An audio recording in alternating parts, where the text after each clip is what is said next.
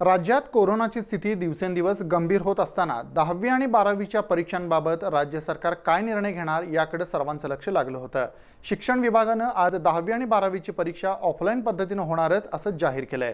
नववी आणि अकरावीच्या विद्यार्थ्यांना मात्र सरसकट उत्तीर्ण करण्यात येणार आहे. राज्यात कोरोना रुग्णांची संख्या वाढतीये. त्यामुळं दहावी आणि बारावीच्या परीक्षा ऑफलाईन होणार की ऑनलाईन याबाबत विद्यार्थी आणि पालकांमध्ये संभ्रम होता.